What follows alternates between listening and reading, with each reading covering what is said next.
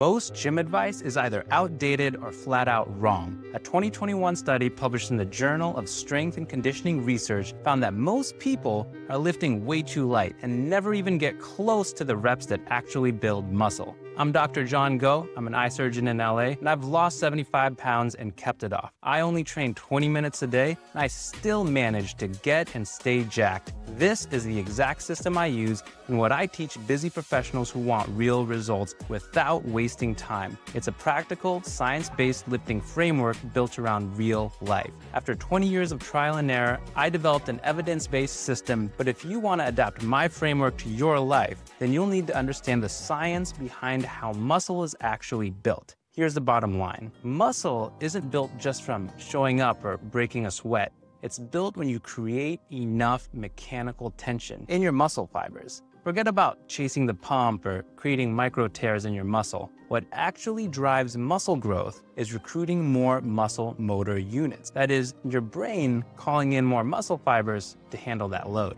Let me explain. Imagine your muscle fibers like a long row of light switches. When you start a set, your body turns on just a few switches. It's only using the minimum number of muscle fibers it needs. But as you keep going and the weight starts to feel heavier and heavier, your body starts flipping on more and more switches to help out.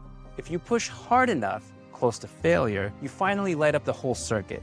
That's where growth happens. But if you stop too early, before you hit those last two to three hard reps, you never flip the whole system on. And if you don't flip the full circuit, you just don't grow. This isn't just a metaphor, it's how the body works. Your body recruits muscle fibers in order of need. It only brings in the big, fast twitch fibers, the ones that actually grow when things get really hard. So the goal isn't just doing 12 reps, the goal is getting close enough to failure that your body has no choice but to activate the entire system. That's where mechanical tension peaks, and that's where real growth starts. We'll call this training with enough effort. So now you know that muscle growth only happens when you push close to failure, when the full system flips on. The real question is how do you know if you're actually pushing hard enough? That's where the idea of reps and reserves comes in, or RIR. Think of it like this RIR is your fuel gauge. Each set starts with a full tank, say 10 reps worth of energy. And as you go, you burn more fuel. If you stop the set when the gauge still reads half full, your body doesn't get the signal to change. But when the tank is almost empty, when there's only one or two reps left in the tank, that's when your body kicks into growth mode. Here's a hypothetical to help illustrate. Let's say you're bench pressing. Imagine the guy next to you all of a sudden gets in your face and threatens your life and tells you you need to keep going or else. What rep would that be? Assuming reasonable form, of course. That rep is considered failure. The idea of reps in reserve is how many reps short of that you stop.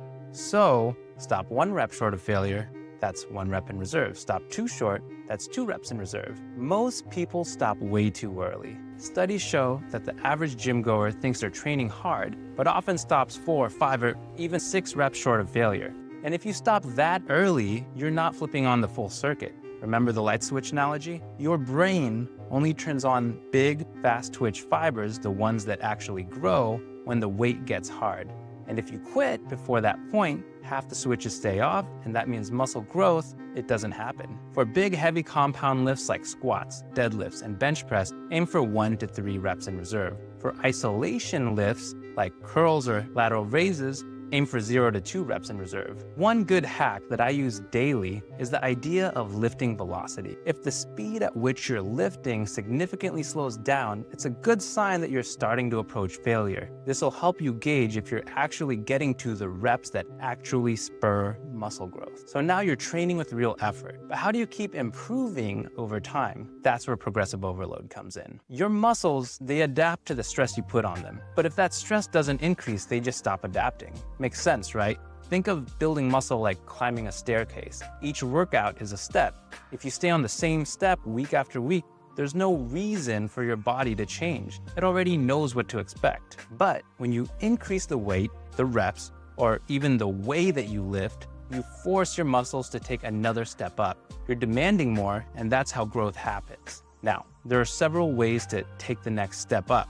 You can add more weight, you can add more reps per set, you can do more total sets per week, you can decrease the rest time between sets, or even move the weight more explosively. If you're a beginner, just focus on slowly adding more weight over time. But eventually, that stops working. When it does, you can keep climbing the staircase by manipulating reps, sets, or intensity instead. Other ways you can progressively overload are by utilizing techniques like forced reps, partial reps, static holds, drop sets. But honestly, I don't really recommend these unless you're an experienced lifter who's close to your genetic potential. So you're now lifting with enough effort and making steady progress. But how many reps per set should you actually be doing? Let's talk about rep ranges and volume next. Rep ranges are how many reps you're doing per set. Volume is how many sets you're doing per week. Now, Traditionally, it's been recommended to shoot for 5 to 15 reps per set, with the lower end targeting strength, the middle, hypertrophy, and the higher end, endurance and calorie burning. But here's where it gets interesting. Recent studies show that muscle growth is similar both at the low and ultra high rep ranges, as long as the effort is the same, meaning you still need to get close to failure no matter how many reps you're doing. Good in theory, but here's why I don't train at the higher rep ranges. The higher your reps, the harder it is to know if you're really pushing yourself and getting to those final reps in reserve. I can pretty easily tell I'm close to failure when I'm struggling through my sixth rep doing barbell squats. But 30 of them at a lower weight, not only does it just suck to grind those out, but it's just way harder to tell that you're at one to three reps in reserve when you're doing that many. So think of rep ranges like a volume dial on a stereo. Low reps are loud with heavy bass. You feel it fast. Higher reps are like softer volume. You've got to turn the dial way up to get the same impact. But no matter what rep range you're in, you've got to crank the dial in your max to light up the muscle fibers that actually grow. If you stop too early, the music's too quiet, your body doesn't hear the signal. It doesn't adapt. That's why I tell my clients to always stick to the 6 to 15 rep range. Enough reps to build volume, but not so many that you lose track of effort. For heavy compound lifts, stay on the lower end of the 5 to 10 reps. And for isolation lifts, you can go higher, like 10 to 15 reps, since they're safer and easier to recover from generally. Now let's talk about volume. This is where a second analogy helps. Think of each muscle group like a bucket. To grow, you've got to fill that bucket with enough hard, effective sets week after week. But the size of your bucket, that depends on your level of experience. Beginners have smaller buckets, so 5 to 10 sets per week is plenty. Intermediate lifters need more, more like 10 to 20 sets per week. Advanced lifters need the biggest buckets. They need 20 to 25 sets per muscle group to keep progressing. This is for big compound lifts like bench, squat, and deadlift. For isolation lifts, you don't need as much. Aim for 3 to 10 sets per week per muscle group, depending on your goals. And remember, only count the sets that you push close to failure. Warm-up sets don't fill the bucket.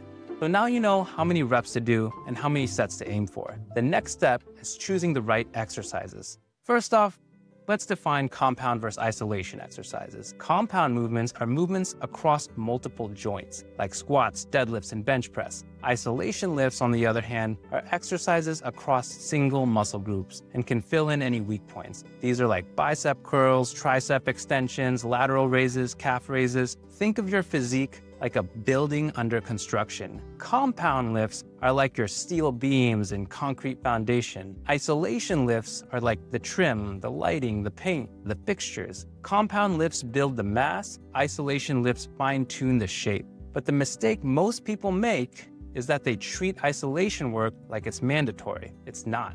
Here's how to use isolation work wisely. Make them a maximum about 20% of your weekly sets. Use them to target weak points, strengthen injury-prone areas, or lagging muscles. And if you're short on time, you can skip them to prioritize the compound lifts. Remember, compound lifts create the foundation of your physique. For example, I do more lateral raises than most because I've had shoulder issues in the past. But if I'm pressed for time, I drop them. Isolation lifts are useful, but they're the finishing touches not the frame. Now that you know what to train, let's talk about how you should organize it. Your split should match your light, not the other way around. People overcomplicate splits. Workout splits are just how you divide your weekly training volume. It's like meal prepping. Some people cook fresh every day, others batch cook and live off the leftovers. The best plan is the one that fits your life. What matters isn't what split you choose, it's that you train with enough effort, with enough volume, and you have enough recovery. Bro splits, working out one muscle a day, is like cooking one dish and tossing the rest. push-pull legs, upper lower, and full body splits are more efficient. You're using your ingredients multiple times per week so nothing goes to waste. Here's the cheat sheet. If you can only work out twice a week, try a full body workout both days. Want to work out three times a week? Try a hybrid split, upper lower then a full body day. Six times a week, do push pull legs twice, but with variations that we'll talk about. Build your split around your schedule, not the other way around. We'll get into sample splits for each schedule, but first, what if you miss a day? It's not the end of the world, just don't miss two. Missing one workout isn't the problem. It's when that one turns into two. It's like knocking over the first domino. You miss Monday, then Tuesday's chaotic, so you miss that one. And before you know it, you hit Friday and you haven't worked out all week. James Clear calls this the don't miss twice rule. Miss one workout, that's all right. Reset and move forward. Miss two in a row, that's the start of a new bad habit that you don't want. Consistency is built by catching the fall fast. Now let's get into those sample splits and how to apply everything we've just covered in real life. Let's say you're slammed with work, travel, family, just life, but you still want to train. This next plan is built exactly for that. If you only have time to train twice a week, this plan gives you results with minimal time. Each session takes about an hour, but you only need two total per week. This is the two day full body split. Here are the three keys to this plan. Day one, focus on heavier compound lifts with lower reps, higher weight. Day two, focus on volume and isolation work utilizing higher reps and lighter weight. And lastly, be sure to separate the workouts by about two to three rest days to allow for enough recovery. Here's the sample plan on screen. This is the highest efficiency plan I use with my clients. If you can give me two quality sessions a week, you'll grow. But if you've got six days a week to train and you want more flexibility, let's talk about the classic push-pull legs. This split is great if you love routine, want clear recovery days, and enjoy training specific muscle groups more often. This is a super flexible setup. Each day focuses on a movement pattern. Push day includes chest, shoulders, and triceps. Pull day includes back and biceps. Leg day you'll hit quads, hamstrings, and glutes. In this example workout, the exercises are split into a heavier day focusing on lower reps and a lighter day focusing on higher reps. But another way to approach this is by targeting vertical push-pull movements on the first day, think lat pull-downs, weighted pull-ups, shoulder press, and horizontal push-pull movements on the second days, like horizontal rows, lat bench, etc. For legs, this would look like focusing on quad dominant and glute dominant movements across two leg days, like squats versus deadlifts. You hit every muscle twice a week and you get variety across the whole week. Different rep ranges, different angles, and different goals. It's hard to beat for long-term growth. But if six days a week sounds like overkill and three is more realistic, here's my favorite split for busy professionals. This is the hybrid upper lower full body split. You get to train three times a week hit each muscle group twice, and have room to recover. The first day is an upper body, the second day is lower body, and third day is full body. The upper and lower days focus more on the lower end of the rep spectrum, and the full body day focuses more on the higher end of the rep spectrum. This is a plan that fits life, travel, weird work shifts, unpredictability. You get frequency, balance, and recovery without needing to live in the gym. Now that you've seen the sample plans for two, three, and six days a week, let me show you what I actually do and why it works so well. I don't train for an hour. I don't drive to the gym. Here's how I stay jacked with just 20 to 30 minutes a day. I train six days a week using the push-pull leg structure, but I split it into micro workouts. Each session is 20 to 30 minutes max. I alternate vertical and horizontal pressing and pulling, and hinge and squat patterns for legs. No fluff, no wasted time, just consistency. Each day, I just focus on one to two main exercises with two to three warm up sets each. I target five to eight hard total sets, five to eight reps per set, and I'm always shooting for close to failure, one to two reps in reserve. If I have time, I'll throw in isolation work for my arms, my abs, my calves, lateral raises, etc. But the foundation and focus is always built on compound movements and consistency. This works so well because it's short, it's repeatable, and most importantly, it fits into my life. Also, some people scroll TikTok between sets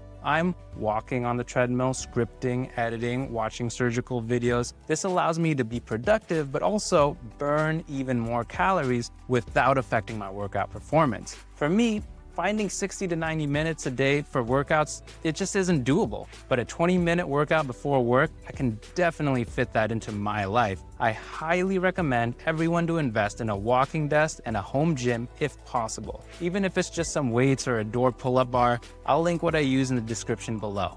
With these frameworks in mind, let's touch on one last important topic rest periods. You're not lazy for resting longer, you're recharging the system. But you also don't want to waste time. Think of each set as a sprint. You can't sprint every 30 seconds and expect peak performance. You need recovery time to perform at your peak again. Otherwise, your reps just become junk volume. A good place to start for compound lifts is to rest between 3 and 5 minutes between sets, and for isolation lifts, to rest about 1 minute between sets. Remember to adjust based on feel. Some days you need more time, and other days you can bounce back quicker. Recovery isn't wasted time, it's what makes the next set count. One final super important tip, especially if you're just starting out, get help with your form. Whether it's a coach or a lifting buddy, it's worth it. Injury is the last thing you want, believe me. To this end, it's usually easier for beginners to start with machines rather than free weights or cables. Machines just provide for more stability, decreasing injury risk. And don't forget to warm up before your heavy working sets. These warm-up sets are done at lower weight and far from failure. Two to three warm-up sets before a working set is usually what I shoot for. You now have all of the foundational knowledge to build muscle efficiently, even with limited time. But remember, building muscle is only part of the story. The most important part is nutrition. Check out my video here, 12 habits to stay under 12% body fat, where I'll dive deeper into nutrition. Take care.